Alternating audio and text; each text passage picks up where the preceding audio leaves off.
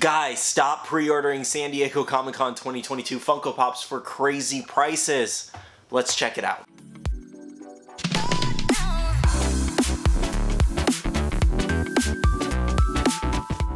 You know, these Funko News videos constantly have me surfing the internet to keep you guys as updated as possible on the news, which brings us into today's video sponsor, Opera GX. Opera GX is a gaming-themed web browser with a lot of cool perks. A great feature about this web browser is the customization of themes, wallpapers, and colors. You can even switch from light and dark mode, very simple, ultraviolet, GX Classic. More importantly, I do want to focus on the wallpapers. Let's search Naruto, for example, because I know you guys love that. Naruto Swing Rain, that looks really cool. Add to Opera, it installs super quick, and there's your background. Now, of course, you would want to watch your favorite YouTuber, Skittle Rampage, and shop for Funko Pops at the same time. So they have this really cool feature where you can pop out your video, move it wherever you want, and shop for Funko Pops. If you love listening to music, there's a media tab right here where you can listen to your favorite music. A really cool thing is if you press play here, and then, oh wait, your favorite YouTuber uploaded?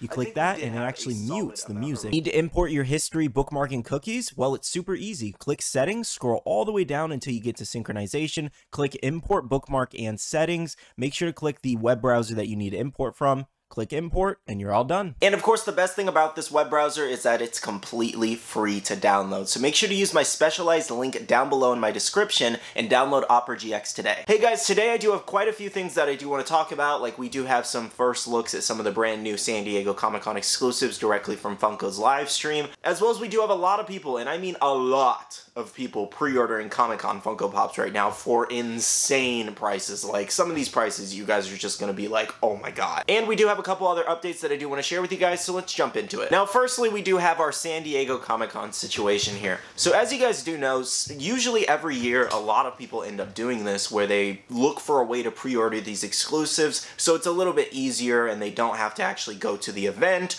or they don't have to go out and deal with lines in the stores, and some people are willing to pay a little bit more to avoid this. However, some of the prices people are paying for some of these doesn't even make any sense. On top of the fact that I cannot stress enough enough that you should not pre-order official Comic-Con stickers, especially when it's only available at the event, and, and, they're limiting them to one per person, okay? So these sellers couldn't possibly get multiple unless they have multiple different people or multiple friends in line going to get these at the event. And if you don't know by now, Funko is extremely unpredictable. We have no idea what stock they're going to even have at the event. Let's take Star Wars Celebration, the last event we just had, for example.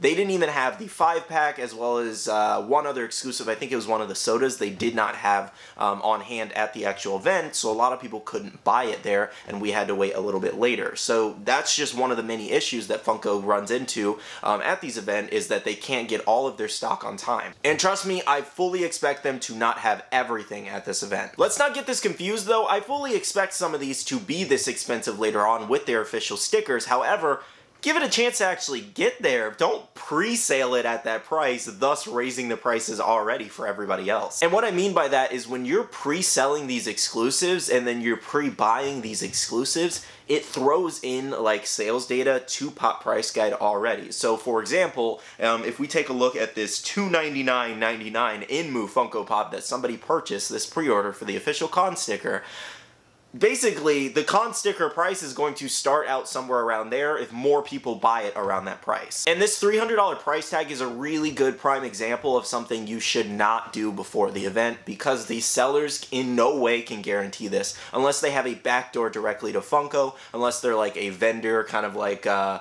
oh, what's their name? You guys know who I'm talking about, who always gets the con stickers, and everything like that a little bit early. Uh, Gemini Toys, I think, unless you're someone like them who gets something early like that from Funko, or separate stock from the event, usually you can't actually guarantee the fact that you're going to be able to deliver on these. So if you ever see that their listings are like 30 days out, 6 days 60 days out, in the fine print they'll say they'll refund you on the off chance they're not able to secure it.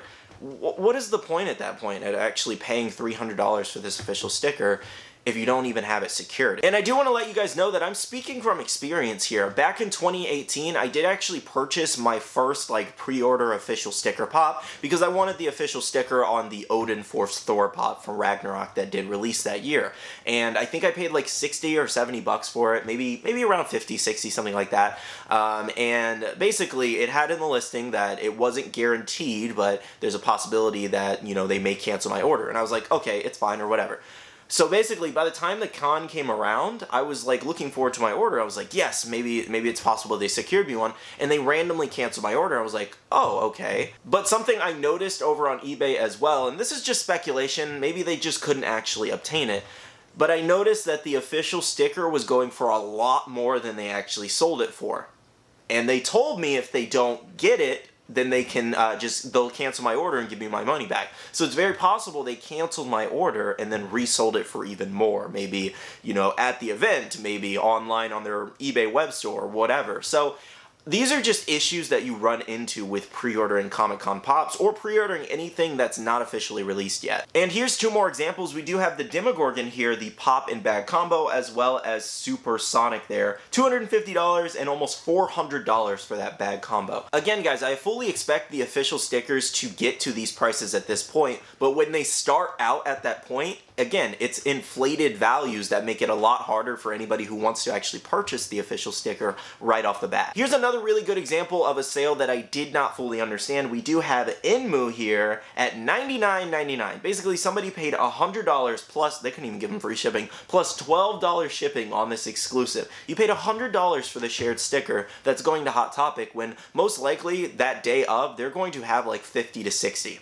of those. Usually that's what happens. And it does look like Funko is actually on schedule for this because we already saw Enmu that we're going to show later on. They have this stock basically. So the store should have the stock. But it's also going to be available on Hot Topic's website. So you have two chances outside of the con to actually get this one. So I don't understand paying $100 for the shared sticker that's going to be a lot cheaper than the official sticker that was a little weird to me. All in all, I just want to pre-warn you guys of the lesson that I had to learn to not do this because you can get the shared sticker fairly easy, I want to say, as long as you get up a little bit early and just put a little bit more work into it. But if you have the disposable income, that's completely up to you. You know, you're going to spend your money however you want. I'm not here to tell you how to spend your money. I'm just kind of give you a warning as to what happens to Pop's values and why they get more expensive later on. They get inflated because of things like this. Now, that's everything that I have to say on that topic. Again, I don't see the point in pre-ordering a Comic-Con exclusive pop if somebody can't actually guarantee it for you. It makes no sense to me, but that's just me. Let me know down below how you feel and your thoughts on this situation. Next up, I did want to show you some in-person looks at some of the brand new San Diego Comic-Con exclusives. Firstly, we do have the Penguin here, and it actually looks really good out of box, to be honest. It's kind of funny. You can see her hair in the background, the other blonde, in the live stream, and it looks like Penguin is, his hair is flowing in the wind. That's kind of funny. Anyways, though, this is a really cool pop ride from Batman Returns in the Duck. Um, I think it looks really nice to be honest. So this one turned out really, really well. Uh, then we also do have the Toucan here, which is Funko's mascot essentially. I think it turned out really well. I know Captain Pop's going to absolutely love that one. Another one we did have was America Chavez here, um, using her star power there. You have the portal behind her. That looks really cool, to be honest. Like, I like how they did it. I would have loved to see kind of like something in the middle to make it like a little bit translucent or like a material in the middle uh, to give it like that portal vibe. Outside of that, just kind of looks like a star kind of forming together in the middle, which still, I think it looks really nice. And then she's in the punching action pose. And next up, we do have Ted Lasso here. So again, pretty simplistic pop with this one, but a lot of people are really excited about it. And uh, I think it does look really good. And lastly, I did want to show you guys an in-person look at Enmu here. This looks really good. So the top of the hand for this demon, I believe, has the mouth. And so a lot of people are wondering, does it have that little detail? So I'm genuinely curious myself. So when I get the pop in hand, we'll flip it over and I'll show you guys, or I'm sure somebody will provide pictures by then. Next up, Funko did announce a brand new Funko Shop exclusive today, and we do have the Golden Belle here from the Disney Princess line here.